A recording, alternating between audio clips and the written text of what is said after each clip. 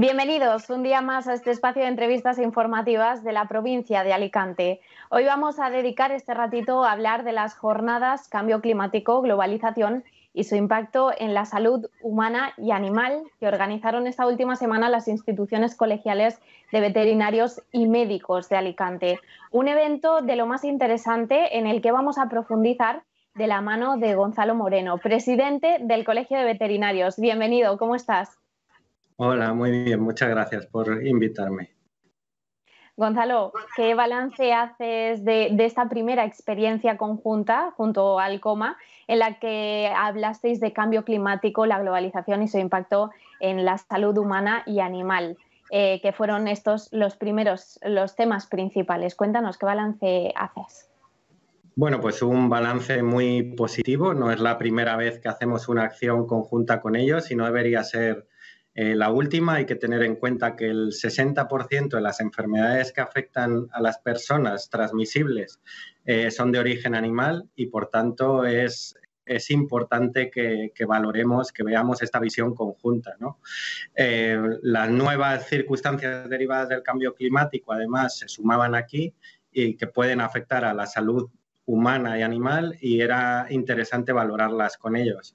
son unas jornadas que han contado con 350 inscritos de múltiples especialidades y de muchos países del mundo. Ha habido expertos de la OMS, ha habido ponentes de, alto nivel y realmente pues el resultado ha sido muy satisfactorio. Ahora vamos a entrar un poquito más de lleno en estas jornadas. ¿Qué influencia tiene el cambio climático en la salud de los animales y de las personas? Cuéntanos. Bueno, pues el cambio climático o podemos decir la salud del medio ambiente, la salud animal y la salud humana realmente están relacionadas e interconectadas. Es lo que conocemos como una salud o One Health. Este concepto es un concepto que lo que nos dice es que si hay un desequilibrio en uno de estos factores, uno de los otros, pues eh, también se va, o los otros, todos se van a ver afectados, ¿no? Esto, por ejemplo, el cambio climático eh, afecta, y más aún en nuestras eh, latitudes, especialmente en nuestra provincia de Alicante, ha afectado ya a, la biodiversidad, por ejemplo, al aumento en la pervivencia de ciertos eh, vectores, como puede ser el mosquito tigre, que hace ciertos años pues aquí no, no existía y ahora lo tenemos en nuestra provincia y puede ser un vector importante para, algunas enfermedades como el dengue. ¿Cuál es entonces eh, la importancia que tiene ese concepto One Health? ¿Que todos eh, los expertos eh, vayan a una?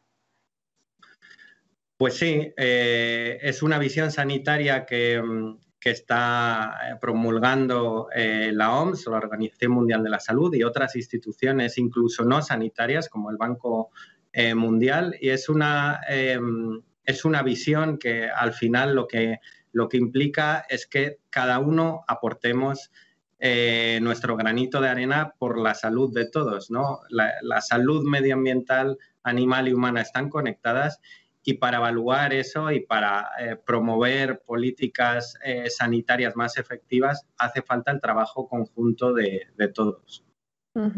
Eh, los expertos lo tenéis muy claro, que todo esta una pandemia global como la que hemos vivido, eh, pues hace falta eh, estar todos unidos. Pero las autoridades, cuando han estado hablando de grupos de expertos, se han enfocado en, esta perspectiva multidisciplinar o se han olvidado de algunas.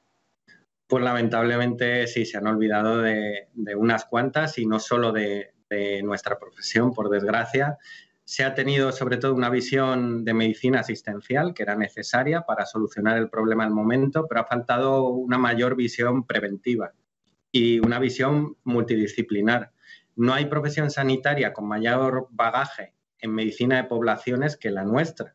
Nosotros estamos acostumbrados a, lo que ahora se hemos conocido, ¿no? los confinamientos, eh, diagnósticos masivos, vacunaciones masivas, desinfecciones de instalaciones. Eso es habitual en el mundo veterinario para abordar ciertas enfermedades y podíamos haber eh, aportado mucho ahí, igual que nuestra profesión, otras, pero otros países como Alemania, por ejemplo, el doctor Simón Alemán el que dirigía la, gestión de la crisis era un veterinario, o por ejemplo el que ha impulsado la vacuna de Pfizer era un veterinario, ¿no? Todos, todas las profesiones tenemos algo que aportar. Entonces, Gonzalo, ¿qué conclusiones eh, extraemos de estas jornadas?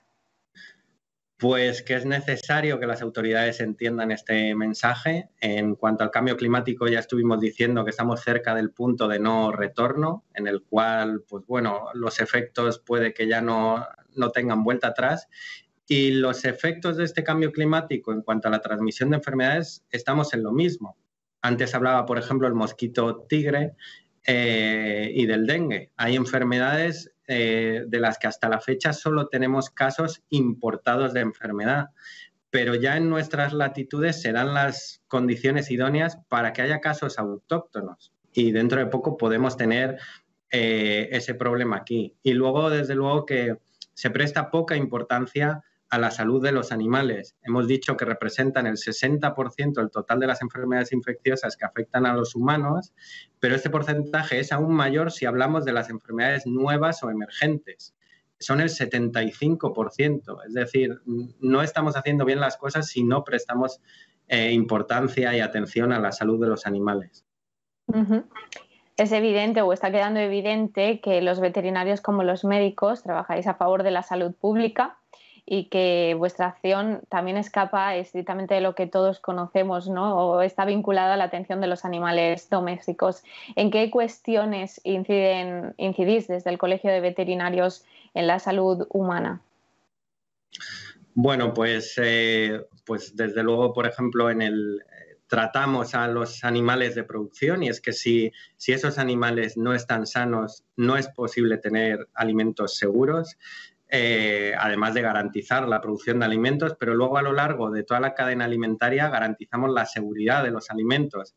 Hay inspectores veterinarios eh, en el ámbito ganadero y luego las industrias alimentarias, casi el 70% de los inspectores eh, que hay a lo largo de la cadena alimentaria garantizando la seguridad de los alimentos son veterinarios.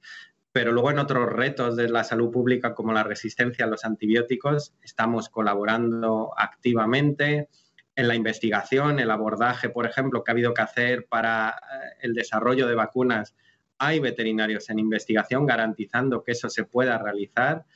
Eh, y luego en la clínica eh, muchas veces pensamos en, en el trabajo del veterinario como, no sé, eh, curar la patita del perro. No es solo eso, ¿no? Hay en uno de cada dos hogares hay un animal de compañía y esa convivencia tan cercana puede tener ciertos eh, peligros para nuestra salud. Los animales pueden transmitirnos enfermedades. Los, em, veterinarios clínicos están eh, trabajando para que eso no suceda, para cuidar de la salud de la familia en la cual está inmersa ese animal de compañía, ¿no?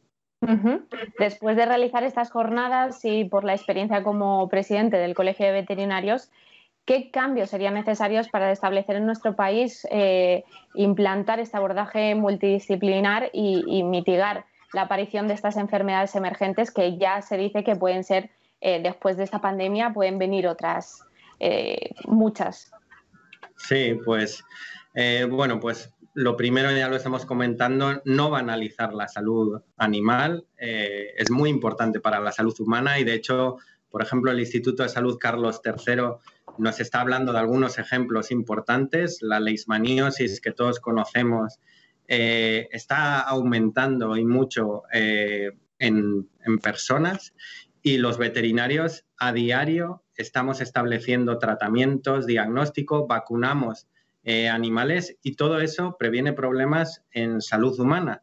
Es por ello que no entendemos que nuestros centros veterinarios no sean reconocidos como centros sanitarios, ya que se hacen mm, tratamientos para la salud humana. Y, luego, pues, que seamos la única profesión sanitaria que esté grabada con IVA y además del 21%. Ese, ese gravamen está grabando la salud humana porque encarece los tratamientos y hay veces que no se establecen tratamientos por ello, tratamientos que al final, como estamos viendo, pueden beneficiar a la salud humana. Y luego necesitamos coordinación, otro ejemplo en el que médicos y veterinarios hemos pedido trabajar juntos es la zoonosis que más nos afecta a, los alicantinos, es la fiebre Q, la más diagnosticada en Alicante. Eh, ahí hay un veterinario clínico de grandes animales que a lo mejor lo ve en primer lugar, luego un veterinario de agricultura, uno de sanidad, un médico en el hospital. Por ahí hay un flujo de información, pero no está coordinada esa acción y la información no fluye adecuadamente de unos a otros. Necesitamos trabajar juntos para prevenir los problemas finales en los pacientes. Pues Gonzalo, se nos acaba el tiempo, pero muchísimas gracias por estar hoy con nosotros y sobre todo pues compartir estas jornadas conjuntas con el COMA y el Colegio de Veterinarios de Alicante eh, sobre el cambio climático, globalización y su impacto en la salud humana y animal, que bueno, pues tanto nos interesa y sobre todo en un contexto como el actual de pandemia. Así que muchísimas gracias por estar hoy con nosotros. Muchísimas gracias a vosotros, gracias. Y a vosotros también gracias por estar al otro lado de la pantalla, disfrutando con nosotros. Nos vemos pronto con más entrevistas de actualidad.